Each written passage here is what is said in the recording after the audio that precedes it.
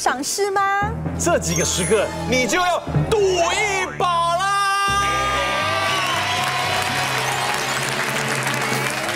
对，其实又到年尾了，是，黑人哥应该也有很多这种尾牙的场合吧？哎，尾牙会有，是对啊，这还蛮重要的。而且这时候就是你能够看到所有的工作同仁的机会。对，这个场合可能一辈子，也不是说一辈子，一年没见到几次，没见到几次，叫不出他的名字。真的，而且人哦，有时候要把握一些关键时刻，做关键的演出。对，像你们尾牙也是看的挺重要的嘛。我们还好，你有分北中南。我们大部分是春酒，嗯，就是说所有的人集合是到每一年过完年，因为因为年前我们太忙了，大家各自都非常的忙。春酒也是不错，对，也也是相对的也是很重要，也是一个大拜拜。你们都怎么弄？哦，我们是办一个大型的国际会议厅，然后员工要表演各处。没有啦，我娱乐大家啦，因为他们他们来。那需要像师长要穿超人装什么？没有。是咸蛋超人，我们文教业不搞这样很保守文静的，对，所以还是挺重要的。你们娱乐圈应该是更好玩，对，就对，像经纪公司啊、电视台啊都很精彩。对，这个各家我觉得不一样，要看那个企业氛围。嗯，所以很多现在了，我觉得该省的就不真的不能省，嗯，就是因为把员工累到，嗯，对不对？哦。你说对，对啊，因为练演出，现在看起来好像是哎很关键的时刻，可是为了这个关键时刻，他们要练舞，他们要准备道具，然后租借，对，哎，这个是没弄好还会有麻烦的，还不如请专业的演艺人员来做一些的，对不对？请威廉省，对不对？他那么贵，他就是真的偏贵了，但合理，哎，是物超所有一定的这种嗨度，划得来的，哎。所到之处的场子哦，哇，整个气氛很沸腾。你帮我人情价少一个零可以吗？少一个零，那就算你一百万了。开玩笑啊！对呀，这种价码对不对？NBA 球员了嘛，这种价码出不了家门啊，有生无缘的。你看，哎，真的啦，你的春酒找我跟黑人哥去热闹一下。那我当然明年收入都要给你们了吧？吃吃饭就好了嘛。吃吃饭啊，我们对不对？视金钱如浮云的。你讲的。真的啦。可他吃饭时候有习惯叫传播了。对啊，就热闹一下嘛。等一下，等一下，我们主任老师全部来跟我说，哎，林哥不是说要来吗？到时候给我开个一千万。不会啦，OK 的啦，这种 这关键时刻今天要有有情相挺的。对，所以今天很多场合，不管是说尾牙了哦，或者是重要的开会时刻，让老板看到你，哎，让老板喜欢你、赏识你。来，欢迎我们来宾，首先第一位，觉得年轻人就是要冲的于浩然。红眼睛真的要睁大看呐，不然得罪光了就完了。好人，好，接下来欢迎想要翻红就要赌一把的魏连手。职场如赌场，赌赢上天堂，赌输住套房。OK OK OK。好，接下来欢迎最懂老板心里想什么媒体工作者胡孝成。大家好。表现的好，就能让你拨开云雾见青天。好，我们欢迎曾经樱桃小丸子卢艳丽。总是觉得老板不够爱你吗？那你就要想办法让他爱上你哦。好，我们来看看哪几种场合。首先第一个。跟聊天，圣经献媚怎么拿捏呢？对，就像我之前有个同事啊，他是出了名的李大胆，就是力多大，就是只要是他力懂啊，就只要他想要争取，他就一定会一定会极力去争取，而且就算是对主管，他也不会嘴软。比如他就会说：“黑人哥，你等下可以请我喝饮料吗？黑人哥，我等下可以早点下班吗？黑人哥，你可以把那厂商给我吗？这样子，对，然后就因为他很敢说，再加上他业绩好，长得也漂亮，所以主管其实都不跟他计较。那他就觉得说，哇，我这套好吃得开哦，又一套走天下就无敌这样。可是其实他这样的行为已经引起很多主管在侧目，也有点不喜欢他了。那有一次呢，他就刚好跟一个厂商起了一点争执，然后那厂商就要告他。然后这时候那个其他主管就想说，哎，机会来了，于是就把这件事情告诉老板。那已经要提告，老板就觉得这件事情呃非同小可，于是就找他过来说，哎，那你打算要怎么处理呀？然后他就还是觉得说，啊，反正我都这一套很适合开，于是他就跟说，老板，我觉得嗯那个厂商真的很无聊哎，你帮我处理好不好？我不想面对他，你帮我啦。然后他就可能觉得说，主管 OK，老板一定也 OK。然后没有，老板就大围观我说，现在到底是你是老板还是我是老板？我叫你出来处理事情，然后你还丢你还丢给我，好啊。既然你那么不想处理好了，那 OK，你从今天开始你就不要来了。所以他就趁机，老板就趁机就把他收拾掉了。有分寸哦，对，其实不仅是要有分寸，而且我觉得最主要还是要看你的长官的性格。那我就讲我自己的例子好了。那呃，我有一个男的同事，我觉得他的痛调跟我一直都不是很合。可是呢，当初我会呃录用他，就是因为互补嘛，因为他很细心，那我是做事节奏比较快速。那我觉得哎，性格不一样也没关系，反正呢，整个一一整个厅里头，大家可以完呃完全的互补，也是一件好事。可是后来我就发现说，他的那个细心的程度其实是我不太能够接受的。然后，呃，最重要的是，我发现他为了要讨我欢心，他做了很多，对他做了很多事情是我不我不爱的哈。践踏自己人格的事。呃，已经有到这种地步了。好，我放下身段。对我举几个例子哦，比如说我们一群同事一起去吃饭，那吃到一半呢，因为有时候我不会带面子或者是湿纸巾，才吃到一半。这个男同事就会从他的包包里头拿出湿纸巾，然后就给我说：“燕英姐，我知道你没有带湿纸巾，记得哦，擦嘴哦，擦手哦。”那一般人可能会觉得还算细心，对不对？可是我的性格就会觉得有点多。对，我觉得有点多，就是你放在桌上就好，你不要再递到我的嘴边。我会觉得有点怪啊。对，好像你是需要照护的人。对对，还是他是影射。哎，吃干抹净之后记得我。不 是不是，哎，这你才听得懂。吃了肉，别忘了留碗汤给我。不是，我觉得他还是男生，他是男生。对，所以就是如果这件事是女生来做，我还稍微可以接受。那如果是男生，就是过分贴心的表现，矫情，对，哎，有点矫情了。那另外一次就是因为早上我都会在公司煮咖啡、冲咖啡，然后冲完咖啡之后呢，那有时候就是比较忙啊，来不及立刻洗马克杯，这个男同事呢就会立刻在啪啪啪啪啪跑过来，燕姐，我帮你洗，你这么忙哦，你的宝贵的时间不应该浪费在这上面。天啊，你就觉得。是贴心没有错，可是你做这么多很小很小的事情，我觉得并没有加到分呢。所以当然就说其他部门的长官可能蛮喜欢他这种贴心的表现。可是对我好像就比较没有用，对。我觉得职场就是大家都爱听好话嘛，有时候你多说好话，主管总是会对你讲。可是有时候当你在说好话的时候，你先要看一下对方的一些生活状况、家庭背景。因为我认识一个男生，他前一个公司他就是因为常常会夸老板娘。所以，说一个公司的老板娘如果对你的印象不错的话，其实你在这个公司你也比较站得住脚，因为老板娘当你的靠山。他就想说，同样的方法，他就用在了这个公司。有一次，总经理就一早来就打了一条很好看的领带，粉红色的。然后他就看到经理的领带，他想说这一定是经理的老婆买的嘛，因为自己男生很少会去买粉红色。他看到说，哇，总经理你的领带好好看哦，一定是太太买的，对不对？哇，从粉红色就会看得出太太对你的爱意，通通在这个领带里面了。会买粉红色的人代表你们感情一定很好，结婚十几年的感情这么好，就开始。讲了，讲了一大串之后，他就发现经理的脸色没有任何喜悦，因为一般人就会说啊，对啊，我老婆眼光很好，然后主管完全没有任何喜悦，主管就小三买的，就跟他点一下头就走了。后来才有同事跟他讲说，经经理在去年就离婚了，所以他完全。完全不知道经理的一个婚姻状况，突然主管他不会讲他的婚姻状况，所以他变成他也没搞清楚，他就开始在讲人家夫妻多恩爱，老婆浓情蜜意，结果就出事。了。真的，分寸要拿捏了。啊，像我个人是蛮不喜欢人家对我那种谄媚的言行举止，哎，那尴尬症会犯。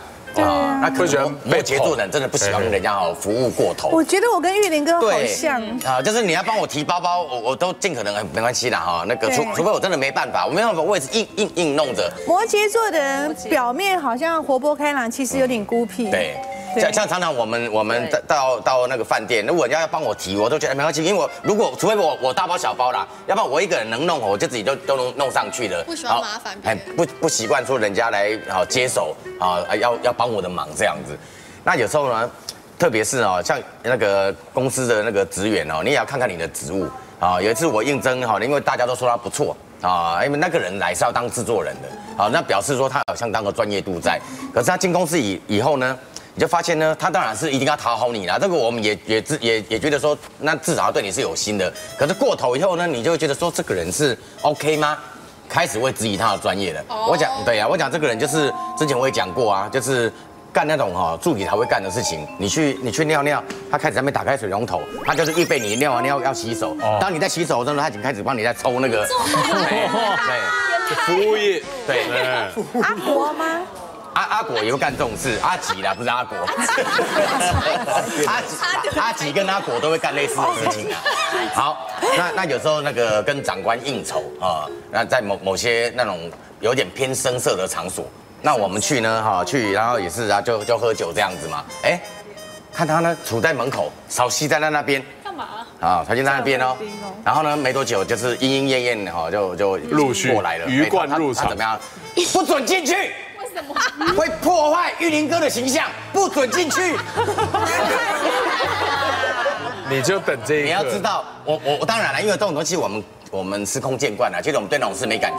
可是我们今天是来招待长官的啊，一定是有所求于他嘛，要不然干嘛花这个冤枉钱？对，结果长官大厉害小厉害。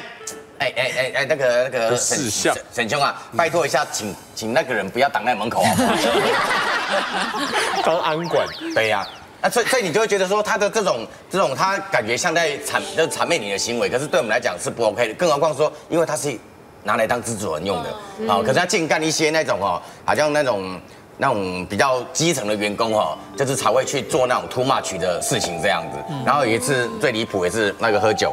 啊，喝喝喝，然后呢？当然，有时候我们喝酒是这样，有人敬你，那我们也假装示弱嘛。啊，就是让你让你占便宜没关系哈。你那个什么那个一杯要对我两杯，那我们就是会 OK OK。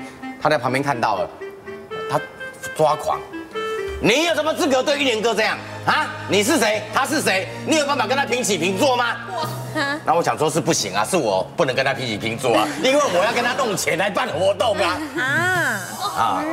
搞砸了，他常常角色都搞不清楚。对对对，他就变成说那个那个有点想要中心护主，可是呢变成没有办法判断那个状况。呃，如果你对你的老板，不论是用正经或谄媚的方式，你都发觉都会惹毛他，或者是有一些尴尬，就代表一件事你要先反省，代表你真的不认识你的老板或者你的长官。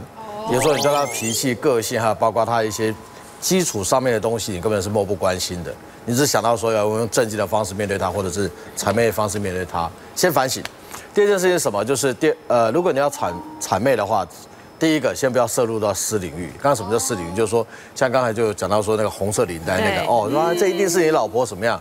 哦，那就就就出锤了嘛，就不是他老婆了，那怎么办呢？私领域的东西有千万不要去涉及到，就点到为止，到说哦，这里的红色领带好漂亮，好。真你好帅，这就好了，后面就不要再来，不要讲太多，因为后面会大家会多了，再可以拉近你的那个距离，那就多了。另外一个是什么东西？就长官自己在讲他自己的一些负面的东西的时候，有时候你知道很多主管哦，我们会自我解嘲这样。像例如我以前的时候，曾经跟我一个下属讲说，哎，我跟你讲就是短腿，我叫短腿狐啊。结果那个这个这我自己讲讲我自己，我说我又肥又又肥又丑啊这样。结果有一天的时候呢，正好就我的下属跟我在在聚餐的时候，正好又其他的一些公司的来碰到一起的时候啊，大家开玩笑的时候，你就过火了。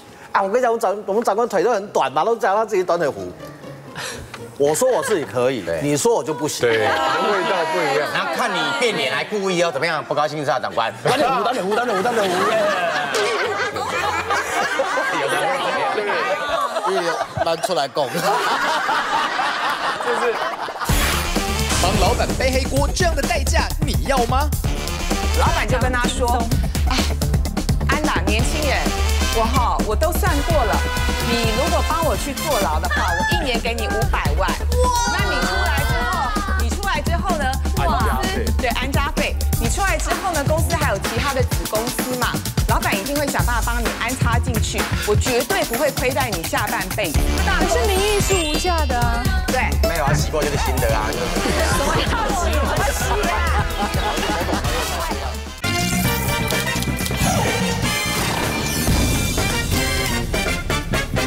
好，第二个是。别人背黑锅，对方真会还人情吗？这要看。对，我之前公司有一个员工啊，那那时候他就是职位的转换，其实他是通过那个升等的考试，所以他基本上那一个月呃薪水会多两千块。但是我们那时候的主管他就自己忘记了，他就忘记把他那个升等的这个事情报到总公司去，所以那个人等于是慢了两个月才加到那个薪。那那时候那个员工就非常的气这个主管，因为他可能会觉得说这个主管跟他有点利害关系，觉得说他他现在跟他。平起平坐啊，有点厉害冲突，是不是你不高兴我，所以故意这么做？所以当时我就觉得说啊，要不然我来背这黑锅好，我就跟他讲说，呃，其实是我忘记给那个主管，所以主管才没有报上去总公司，因为我跟他比较没有利害冲突，他可能就会单纯觉得说我就是真的不小心出错。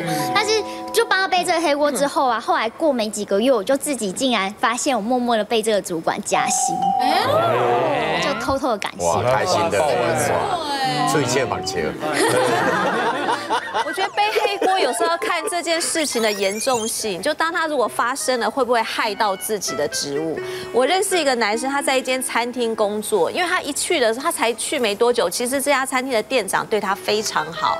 那有一次，因为店长家里好像发生一些事情，所以店长那几天其实工作，他们都感觉到店长这几天都有心事，也没有问他。结果有一天，就是因为前一天有客人来订餐。店长接了电话，因为他们餐厅能接电话的就那几个，然后店长接了电话，可能就是没有把这讯息跟厨房的师傅讲，等于第二天厨房师傅他没有办法准备这么多餐，所以厨房师傅就发火了。那我那个朋友，我觉得他也很聪明，他想说啊，店长平常对他这么好，这个时候是该报恩。而且这个恩报下去，其实对他的工作不会影响到非常大。他就主动跟厨房师傅说：“师傅真的不好意思，不好意思，因为昨天这电话是我接的，因为我才来，我不知道说定位这种东西马上就要写现在，马上就要把餐点给厨房师傅。那厨房师傅就是看到新人就骂一骂，就就也就说下次要小心。店长看到了。”而且店长就整个大感动，因为店长完全没有想到我朋友会去帮他顶背这个黑锅。然后店长事后就跟我那朋友说，他说真的很不好意思，因为我最近家里发生一点事情，所以刚刚要不是你的话，我真的可能我这个店长这个老板交代下来，我可能就被影响很大。所以从那一次之后呢，我朋友有时候一般餐厅服务业假日是不能排休的嘛。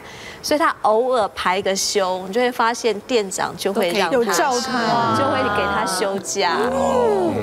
就是你背得起的才能背，对，背不起的不能背。对，对。不过有时候背不起的时候，你就会去思考，如果说老板给你就是跟你交换的那个条件，你觉得非常非常的诱人，而且你觉得很划算的话，也许有些人就会考虑要去背哦。那我记得很多年前我们有一个媒体同业，他在媒体界就是一直都很不得志啊，就升官呢也升的不是很顺利，然后加薪状况也不是很好。所以他那时候就决定要转换跑道，他就去了台湾，就国内还蛮有名的一家贸易公司哦。那他也是去当公关，那这个位置看起来也是很一般般，就是也不是很重要的位置。那他的表现大概他去了一年多，表现也是一般般，就是我们所有人都觉得好像你在媒体界也这样，后去了这个业界好像也是这样。可是呢，去了一年多之后，有一天他的老板就。把他找过来，就跟他说：“哎，某某某，有有一件事情，我想要跟你商量一下。”那我这朋友就问他，问老板说：“哎，老板，什么事情？这个需要这么的正式，而且这么有礼貌性哦？”所以他其实内心有一点疑问。他老板就跟他说：“最近公司呢即将发生一件大事，就是呢，我跟其他经营团队，呃，出了一些状况，所以呢，我们被投资人检举。”我们呢有挪用公款的事情，但是你也知道，公司其实是蛮大的一间公司。如果这件事情确定是要由我来承担的话，后面的经营管理会比较麻烦。所以老板，我想跟你商量的地方在于说，因为你也是公关，那对外的窗口就是你，所以是不是呢，就由你来背这个黑锅？对，那。对，老板讲的非常非常的明确跟直接。那我朋友呢，当下内心是很震撼的，就觉得说背黑锅，而且这个可能要坐牢。对，那老板显然老板都想好了，老板就跟他说，年轻人，我哈我都算过了，你如果帮我去坐牢的话，我一年给你五百万。哇，那你出来之后。你出来之后呢？公司对安家费。你出来之后呢？公司还有其他的子公司嘛？老板一定会想办法帮你安插进去。我绝对不会亏待你下半辈子。那我朋友就跟老板说：“你可不可以让我想几天？因为如果我背上这个罪名的话，我以后要去别家公司找工作会很困难。”对。然后当然他没有找我商量啊，好，我我在想应该是去找别人商量。那这件事情呢，他想了几天之后，他就跟老板回复说：“老板，我在这家公司一年年薪也不到一百万，那你愿意用一年给我五百万的这样子一个安家费？我其实很谢谢老板的支持。”对，那到最后他是同意了这个交换，因为他没有结婚，他单身。对，然后再加上他觉得说，其实这个交换，因为毕竟那个老板，他觉得老板是一个有情有义的人，所以他真的后来事情的发展就是，他真的因此去坐牢，坐了一年多。就一年。对，我以为是判无期徒刑，终身不得假释都不疯掉。没有没有没有一年一年换五百万。那当然我在想，公司他一年赚不到五百万。答应他这一年赚不到五百万，那当然。可是名誉是无价的啊。对。没有啊，洗过就是心得啊，就是。什么洗？怎么洗啊？还是某种行业是这样。洗内裤啊。有案底的。洗。可是就是公司其实也派了最好的律师帮他去做一些辩护之类打官司。对。总之他在在牢里坐了大概一年多的牢，然后出来之后，确实老板就。就帮他安排到另外一家子公司当特助，那一般特助也没什么了不起，对不对？可是呢，老板也帮他安排了司机，安排了坐车，当然是没有送他房子，没有送他房子。可是老板就觉得说，你帮我牺牲这么大，我当初承诺你要给你的好处，我一一都会兑现。这是一个比较极端的例子。这种老板很少吧？这种东西又不能签什么？对，就是因为黑道有时候会这样。叫那种小弟，对，去出来出来就也弄个小组长给他当 他。组长，小组长，哎慢慢来啊，对啊，本来只是参加公祭而已啊，所以就出来就当小组长，这种顶罪的嘛。不过通常都是跳票。对啊，现在很现在的黑道也会跳票，对啊，他该跳就跳票。所以像这种黑锅要不要要不要顶哦？嗯，现在台湾的老板有一个很严重的问题，就是他又要你当中狗。要你当奴才，还要叫你当黑锅。嗯，可是呢，哇，当你在选择这个过程中的这个天平上面，其实是很难拿捏。像刚刚艳丽讲这个的话，其实，在实际的状态下，以前有一个大集团的老板也曾经对他一个副总也干过这种事情。哇，他说你就跳出来帮我顶，顶完之后过了做了几年牢之后，我一定出来之后我一定照顾你。那有没有兑现？有，这个我也没话讲，的确是有兑现。但是你要去想看看，这样的老板有几个？你先想看看哦，这样老板有几个？当初这个老板他今天这样子敢讲，是因为他还很夯的时候。对。所以说现在有没有很好？其实他现在也并不算很好，但也不差也不差了。就是你要拿你的这种自由跟你的名誉，然后来来这样子放在这个地方的话，或许你觉得是 OK 的。可是人家怎么看你？嗯，我这是一个问题。第二个就是会做这种事情，其实在业界都藏不了太久。刚开始的时候，你或许藏得住。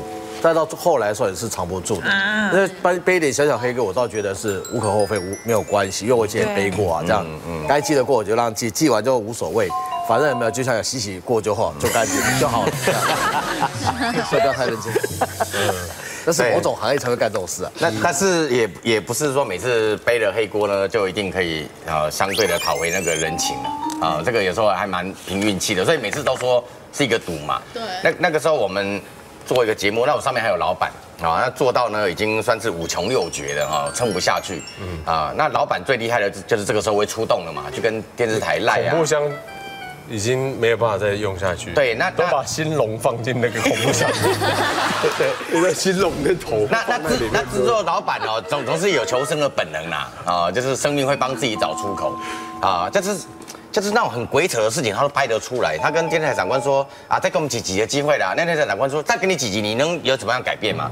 那就说：“啊，还把主持人换一换啊，全部都换新的。”那问题是我们当时的主持人已经是台湾这个算是数一数二大咖的啦，那你还能怎么换？啊，更何况那个老板提出来的名单呢，还是啊比这个大咖来讲呢，就是没没就是还还差差好好几个等级的这样，啊。回公司告诉我们，那大家不知道怎么办？那好啦，就执行老板的想法。那像重点是，那谁去跟大哥讲？那一定是要老板讲嘛，因为你们那个那个 label 啊，你们的那个各方面的那个资历啊，才相当嘛。哎，那个老板哦，就是开始要找人背黑锅啦，把我叫进来啊，看着我很久啊，然后跟我讲述这整个事情啊，所以不得不做要办这个节目，我们大家都非常做啊，对你我都不好这样子，然后就盯着我说，玉玲啊。你该长大了，做你没做过的事情，才叫成长，收获；做你不敢做的事情，才叫做突破。把电话缓缓的推过来，来吧，你打。我说要求什么我打，塞康啊，这个不是成长，也不是突破的问题，这个是一种礼貌嘛，对不对？出出事的，人家是大哥，对不对？你我们那个时候才进行没多久啊，那真的极度的不礼貌。你就算你如果如果你如果要坑掉我一件事情，对不对？你找一个刚刚入行那个，对啊，那那就说不过去嘛。啊，可是我老板是不敢面对现实啊。我们两个人在办公桌那个电话哦，你我录给他，他录给我，我录给他，录给我，录掉十几分钟。后来老老板拍桌说没出息的东西，我跟你讲，陈玉玲，我讲你这辈子啊成不了大器，你连这种电话都不敢打。他自己还不敢打。他他后来就打了，赌气哦，啵啵啵啵啵啵啵啵啵，接通了。哎，大哥，大哥是这样哈，嗯。尾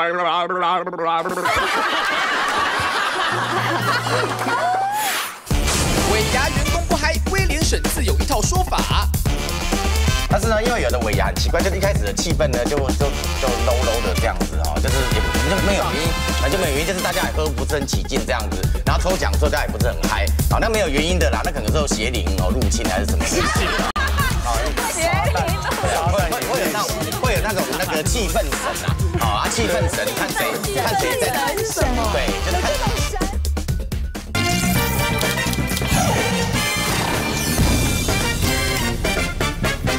后来老板拍桌说没出息的东西，非常沈玉玲，我讲你这辈子啊成不了大器，你连这种电话都不敢打。他自己还不敢打。他他晚上就打了，赌气哦，啵啵啵啵啵啵啵啵，接通了。哎，大哥，大哥是这样哈，嗯，玉玲有事情要跟你讲。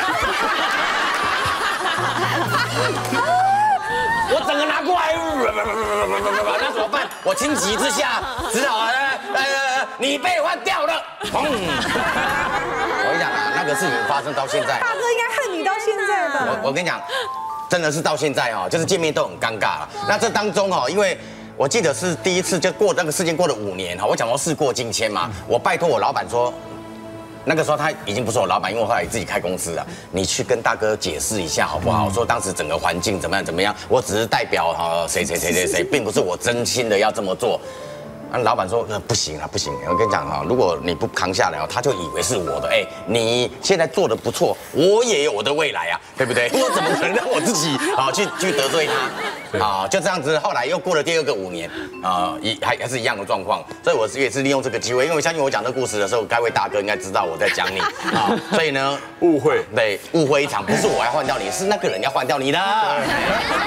而且要小心那个很多的黑锅后面还会下毒手哦，你知道什么叫下毒手？对，就是说今天那上面主管跟你讲说这个就是你就背了，背了完之后你就觉得他好像应该会给你一些回馈或什么，就他反而就说对啊，就是他干的，你看他自己都承认。对，我们过去在一个在一个新闻部的时候，曾经有发生过这种事情，跳出来叫他认，就他讲过说啊对，没有错，长官这是我做的。可是他心里面其实我们后来有听到，就是说他是另外主管，刚才讲说你就帮我扛。没想到后来说在整个会里面主张要记过也是那个那个主管，这这个就玩的非常的背哥哥这样，百口莫辩，装装的像一点，对，这都要很小心。嗯，好，第三个是什么？长官互有心结，到底该听哪一个？这个麻烦，对啊，这真的超麻烦。对，我记得有一年我在公司的时候，我有两个大长官。呃，一个长官我们称呼他 A 好了，另外一个是 B。那 A 的关键又比 B 大一点点。那问题是呢，A 跟 B 他们长期以来都有心结，因为 B 表现的比较好，所以背后真正的大老板其实是对 B 比较稍微欣赏一点。那刚好那一年公司要做一个这个就是社庆嘛，好满周年要做一个社庆，那我们就要。大家开会的时候就讨论说，那到底要做什么样的一个促销的一个行销方案？那偏偏那几年其实整个呃金融业的状况不是很好，所以呢，我们 A 长官他就在会议上主张说，哎，我们今年不要做什么行销方案了，我们呢干脆把钱省下来，因为景气不好。就这个 B 长官呢就说，不对不对不对不对，我们应该要逆向思考，我们要逆向加码，要多做一些行销活动，趁不景气的时候呢，让读者们多多认识我们。哎，两派听起来好像都蛮有道理，对不对？这个时候呢，大老板呢，因为大老板有开参加我们的会议，大老板就说：“那艳丽，你说说，你觉得谁讲的比较有道理？因因为我是 A 跟 B 之后，下面的长官就是我啦。那老板就钦点我讲话。那坦白说，我我我刚开始话没，刚开始不会不会，我刚开始呢，一定是话讲的非常漂亮。说哦，A 长官有道理，B 长官有道理，那老好。对，老板就没耐心，老板就说：你讲重点好不好？废话那么多，你到底支持谁？对，其实我们金融业都还蛮直来直往。那其实我那时候内心就已经在打算盘了。虽然 A 比较资深，A 的关键比较大，可是因为老板。比较喜欢 B 那么一点点，而且呢，我也认，我也比较认同 B 的一些想法。那我后来反正就是讲了一长串漂亮的话之后，我就说，老板，我觉得这个 B 长官他的想法跟我的想法比较吻合。我们不景气的时候多花一点钱在行销费用上面，读者多多认识我们啊。等下景气回来的时候呢，他们就会黏住我们嘛。那我就把 B 按个赞这样子。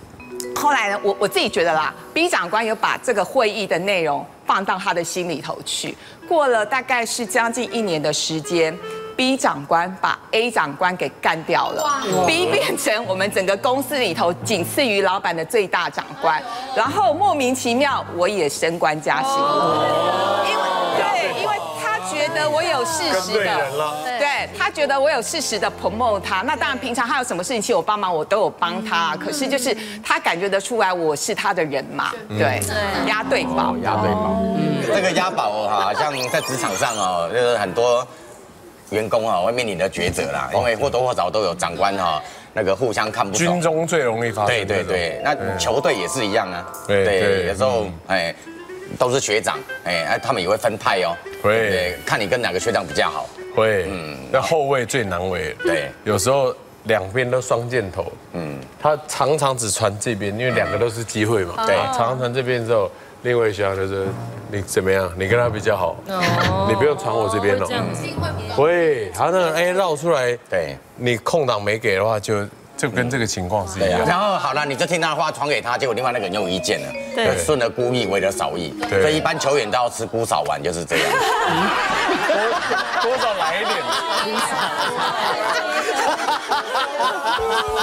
我那时候哈，那时候曾经在过一家公司真的一起，那那三巨头就是在制作界那都是响叮当的人物啊，但是都年轻啊，他们想说呢啊，不要被那些老屁股哈所控制，所以他们决定自己开公司啊，然后就说哎，玉玲啊，这样子哈，那个你不是一直梦想想要在这一行出类拔萃吗？好，我们要开公司了啊，你一定要来，好，你那边呢先离职，好，大家编个理由借口哈，我们我们会会配合你附和你这样子。啊，然后我去做，那边就离职了，对不对？然后就等三个人新公司嘛。结果这三个人呢，多妙啊！那个有一天晚上在喝酒，然后就举杯庆祝说新公司即将成立。就有个人提议说，哎，这样好了，那个为了庆祝我们新公司即将成立哈，我们后天哈先去哈，那时候韩国那个济州岛那个赌场刚成立啊，刚刚在热门这样子，我们先去济州岛玩他那个一下，回来呢，哎，好好认真工作哦，哎，不许再偷懒啊，我们就是玩完了，玩完以后就要收心啦。这三个人去了一趟韩国呢，把他们要开公司的钱都赌光了。对，然后然后开什么公司呢？结果反正呢，对我来讲就遇到一个波折了。其实当时我就应该毅然决然哦，不要跟他们继续鬼混了，因为这种东西就是不靠谱的嘛。啊，结果他们回来，反正又透过标会啊，怎么干嘛，又弄了一一堆一堆钱，又开公司了。我一进去以后呢，真的是灾难的开始，因为三个人三种意见啊，三头马车啊，光是光是一个节目的名称啊。啊，到底是要叫来来来，还是去去去，还是够够够？我们三个人都不一样，而且他们三个人啊，那个虽然年轻啊，不过那时候差不多快四十岁左右。会为了一个节目名称哦，玉玉玲，你讲是来来来还是去去去？我说还是够够，我说不然就来去够，这样各取一个。我三个人有办法为了这个事情，啊，身高都很高，那站起来哦，为了这个事情扭打成一团，就为了一一个这样的东西。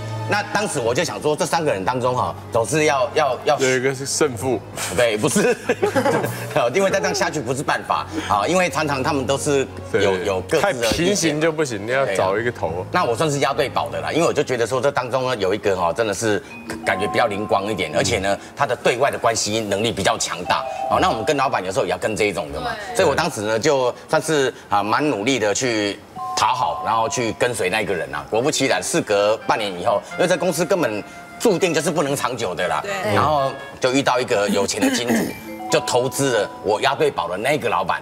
哎。后来那个老板呢自己就开公司，好，然后呢我后来在演艺这个节目制作的工作上面比较稳定呢，也是因为押对了宝。哇。跟对人。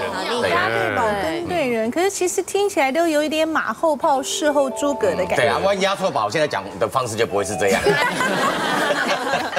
我的经验是这样，我觉得。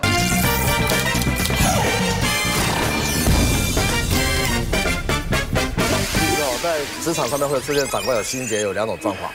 第一种是什么呢？就是老板干的。然后什么叫老板干的？就是把两个人升的职务差不多，这叫恐怖平衡，故意让这两个去斗。斗到一个下来之后，他就可以再重新做一个整边动作，通常是这样。后面那个上来的，主要的情况有可能会顶掉前面那个。对，一般有后发优势。所以你要这个时候的话，你要知道见风转舵。这个时候开始要稍微往可能靠后面这个新上来这个人，可能稍微偏重一点。这个是主，这个是职场上面比较很现实的状态。除非这个新上来这个人，如果他不是黄金国戚的话。万一他是个脑残的话，你再开再转回来这边也是 OK 的，这是一种。呃，你不转的话，你就发觉你你的你的工作就被转走，就不见了这样。对。第二种是什么东西？就是会有这个所谓的长官的心结的状况，是因为 A、B 两个主管，A 主管可能是这个这个这个 team 的那个 leader，他他升上去了，或调别的部门，换成一个 B 的来当现在这个主管，然后他跟 A 的这个 team 里面的所有的这些成员还有一些感情。他可能就开始说讲讲讲完之后，他就会过来怎么样？我就讲好像就是老前辈来指导你这个属于比较菜的这个这个人，或者是说我进来告诉你要怎么做怎么做，或者帮忙出气这样子。哦。但有一句话非常的重要，县官不如县管，只是说现在在管你的这个才是你的主管。哦。那个已经过去，虽然他过去其实他是你过去的长官，但毕竟嘛跟你的关系比较稍微远一点。嗯。如果在这种情况之下，我会比较建议你。还是有没有把你现在目前这个县官不如县管的概念有没有尽量拿到里面？嗯，好，第四个是尾牙大喊加码，一瞬间，搞不清楚状况。对，我真的觉得就是一个公司里面，老板跟主管不能惹以外，还有一个人千万不可以惹，就是会计。对。因为有一年我们公司他在尾牙的时候，大家一开始啊都还不敢讲话，都没有人敢起哄。后来几几轮酒喝下去之后，到了抽奖的时候，大家都疯了，加码加码，一直吼一直吼一直吼。对，那这时候就让我们那会计因为加码抽到了一个一万块现金的红包，然后就有一个男的，他就好像是酒喝太多傻了，不知道怎样，就说捐出来，反正你单身用不到。然后大家是傻眼，然后想说。因为平常会计是很严谨的，大家都不敢开他玩笑，结果他居然还敢这样讲。后来呢，只要这个男同事要申请任何的文件用品，都是最后一个拿到，薪水还常常被算错。哎呦，真的起哄要睁睁大眼睛挑对象。对吧？我曾经参加一个，去年参加一个朋友的他们公司的尾牙，他们那时候公司准备了六台的那个电动摩托车。对，那你知道业务员有时候就是会看，譬如说这个公司的主管可能平常很小气，很少喝到他请的客什么，所以他们就会利用在抽奖那一刻想要去让他们捐出来。所以那时候我参加尾牙的时候，就刚好他们公司一个平常就是对员工有一点。抠的那个人抽到了一台电动摩托车。哇！那我觉得业务员这时候你要看奖品的大小。你如果说是那种六百、一千的，你可以拱他捐出来嘛，对不对？我也是针对一个平常很节省的主管抽到电动摩托车，这不可能会想捐出来的，对不对？那他抽到那一刻呢，我那个朋友就是真的很白目，他就开始第一个带头，因为第一个带头人很重要哦。他就说捐出来。捐出来，然后其他的人刚开始是没声音，哎，听到他一拍手，你知道大家就开始捐出来，你就可以看到在台上上去正要领电动摩托车的那个主管，你看得出他的脸是不想捐，骑了摩托车就走了。所以电动摩托车也不少钱，你知道吗？才没电，骑不走，还用脚在那边踩，腰弄走。那主管全部七八十桌，大家都看到捐出来。他如果不捐的话，人家就觉得说，这个主管怎么一点都不大气呀，对不对？一台摩托车。后来那个主管在台上脸臭到一个不行，但他最后想了一下之后，他还是把它捐出来。啊！说后来那个业务 业务员就那一整年，其实主管没没有对他怎么样，但主管看到他的表情都不会太和善。一定的。嗯，那这尾牙啊，就这个各种状况都有了，也碰过那一种哦，老板很希望加嘛，因为跟那老板很熟，所以前一天聊天就跟我说，哦，玉玲，我跟你讲，我这次哦。准备三十万要来加嘛？哇！啊，但是但是就是就是一一定要要有要有个铺陈嘛，因为总不能一开始就讲我要三十万加嘛。那通常就是进行进行抽奖抽奖抽到后来，然后大家拱加嘛，然后老板在这边演说很为难啊，好啦，三十万，那一般桥段半推半就这样，都要这样演。嗯。但是呢，因为有的尾牙很奇怪，就是一开始的气氛呢就就就 low low 的这样子哦，就是也就没有原因。那就没有原因，就是大家也喝不是很起劲这样子，然后抽奖的时候大家也不是很嗨，好，那没有原因的啦，那可能是邪灵哦入侵还是什么？邪灵，会会会有那种会有那种那个气氛神啊，好啊，气氛神，看谁看谁在神什么？对，就是看这种神，就很你有没有觉得很奇怪？有些时候有些时候同样的组合哦，哇嗨的不得了，没来有的嗨，有些时候呢。这明明也没什么心事，没什么烦恼，可是有没有喝酒有很大关系没有，有时候喝酒也有分快乐酒跟喝的喝的不开心这样。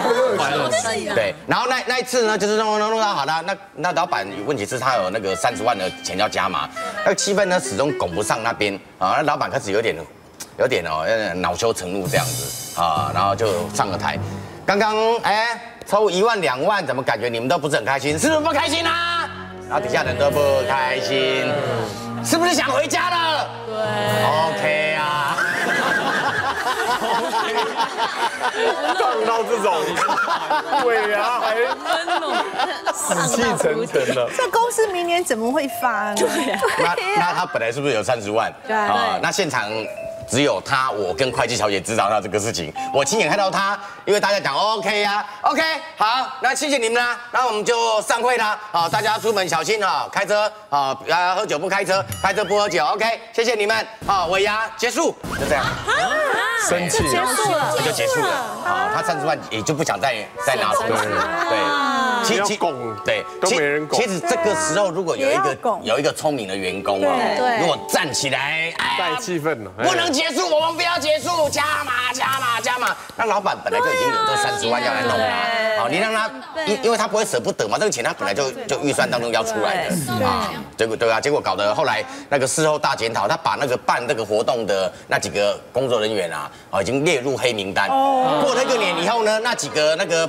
那个半尾牙的人啊，就看不到他们了。哦，秋后算账。对呀，就是不不会弄气氛，不会看脸色哈。笑声哥教教。像玉林这种情况，他是他是一种状态，其实很多人不知道。我跟大家讲一个独家。其实很多老板哦，他今天都如果他加码的话，其实大家都 setting 好，下面都已经讲好哦，对，我一定会跟他喊加码加码加码，set 好的哦，一定有一装脚，一定有一个装脚，对，要不然就是主持人是装脚，没错，对。但是如果你是是一个二百五搞不清楚状况，你直接喊哎加码加码老板讲。好，那个就是你要胡笑成，你死，我跟你讲，下次你就挂，不按套路来的，对，别人先喊，对。对。所以你千万不要自己给跳出来，加码加码，就一看，所有你跟他们喊得很嗨的时候，比他跟一起喊的时候，其实你就在第一个，你就完蛋，你就是那只黑羊，你就倒大霉，这样，这是一个。第二个是什么呢？就是很多的主管哦，你要看主管的那个他的阶级，通常一般来讲的话，总经理哦，通常是老板嘛，还有董事长这老板嘛，对不对？对。你叫他捐出来，他会捐，为什么？因为反正这个这些奖品什么东西花的也不是他的钱，公司的钱，嗯，OK 的。对。但如果你说碰到像那种经理级的话啊，捐出来捐出来，你就完蛋。对，中间的这种，你一定死定，对不对？为什么？我好不容易捞到这个奖品，然后你没有赚到那么多。对，然后呢？你说一个小主管薪水也没大，对，是。所以我要跟很多的朋友讲，这个又快到尾牙的时候呢，请各位有没有稍微留点口德哦？就是那种中阶主管或小主管，他今天拿到什么东东西，那是他的运气好。我觉得我们用祝福的心态，不要一直叫人家捐出来。你想想看。